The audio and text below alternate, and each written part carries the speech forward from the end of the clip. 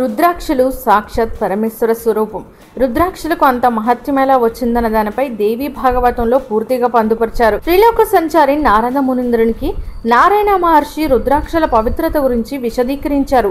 పూర్వం త్రిపురాసురుడు అనే రాక్షసుడు తన దుర్మార్గాలతో అందరినీ బాధ పెట్టేవాడు అతని బాధలు భరించలేక దేవతలు కైలాసానికి వెళ్ళి రాక్షస బాధ నుంచి విముక్తి కలిగించమని ప్రార్థించారు. వారి ప్రార్థనను ఆలకించిన మహేశ్వరుడు అఘోరం అనే మహా అస్త్రాన్ని సృష్టించారు. అది మహోజ్వలమైన ఆయుధం.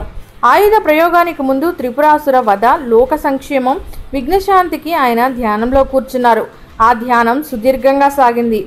మూడు నేత్రాలను మూసివేసి ఈశ్వరుడు ధ్యానంలో మునిగిపోయాడు. ఆ ధ్యానంలో స్వామి మూడు కన్నుల నుంచి కన్నీటి బిందువులు రాలాయి.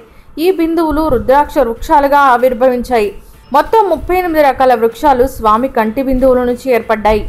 ఎడమ కన్ను నుంచి పన్నెండు కుడి కన్ను నుంచి పదహారు మూడో కన్ను అగ్నినేత్రం నుంచి నల్లని రంగులో ఉన్న పది రుద్రాక్ష వృక్షాలు ఆవిర్భవించాయి.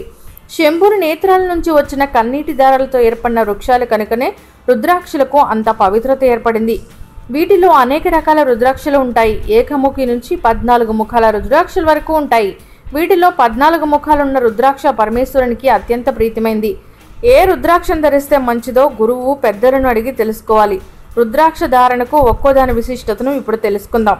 ఏకముఖ రుద్రాక్ష శివుడు రెండు ముఖాలు శివకేశవులు మూడు ముఖాలు అగ్ని రకం నాలుగు ముఖాలు బ్రహ్మస్వరూపం పంచముఖాలు కాలాగ్ని ఆరు ముఖాలు షణ్ముఖ అంటే సుబ్రహ్మణ్య స్వామి ఏడు ముఖాలు ఐశ్వర్యం ఎనిమిది ముఖాలు వినాయకుడు తొమ్మిది ముఖాలు భైరవుడు పది ముఖాలు జనార్దనుడు పదకొండు ముఖాలు రుద్రుడు పన్నెండు ముఖాలు ద్వాదశాదిత్యులు పదమూడు ముఖాలు కార్తికేయుడు పద్నాలుగు ముఖాలు. ఇది పరమేశ్వరునికి అత్యంతమైన ఇష్టమైన రుద్రాక్షలు. సో ఇది రుద్రాక్షల వెనుకున్న అసలు కథ ఖమామిషు. For more details please subscribe news mark